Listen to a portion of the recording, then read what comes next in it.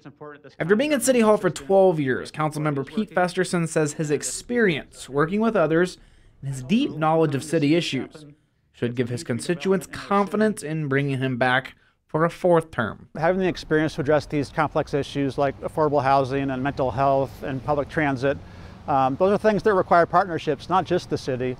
Someone who listens to people and works well with others, that's always been my track record. Festersen touts his work in helping to make Benson, Dundee, and Florence business improvement districts, allowing them to flourish in the last several years. I mean, uh, 10 years ago in Benson, uh, we, were, we were really struggling. To now, where we have a bustling area, one of the coolest places to be in town, almost every storefront is filled. Uh, it's really exciting to see, and I want to continue that, that success going forward. But he's got competition.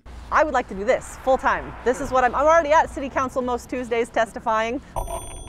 Omaha Bicycle Company's former owner, Sarah Johnson, who's still an avid biker, is already an active community member and is now challenging Festersen to his left. I think that there's so much work to do, it's hard to even have a priority. It's just like everything needs a fresh set of eyes and new energy.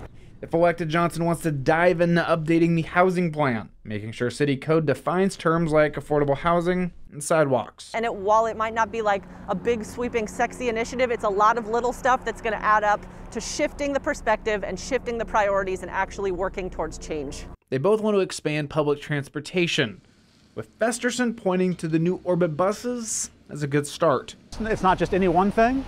But the orbit, I think, was a big step forward, and we're looking at the potential to expand that in different ways. I think it is increasing better bus, bus routes for our citizens. While Johnson wants to be a bit more aggressive, already identifying a street she'd like to see Orbit go to next. But I really think that 24th Street needs to be looked at.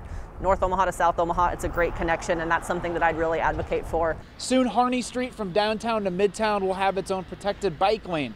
And this is area where both candidates seem to agree as they want to see more lanes tailored specifically for bicyclists throughout Omaha. It is a pilot project, uh, but I think it's time to make that permanent. I, am ready for that commitment, and I'd like to see that expand to other places too. We need to get serious about a safe and connected, protected network. It's not about one lane on one road. That's not enough. In Omaha, John Kipper, 3 News Now.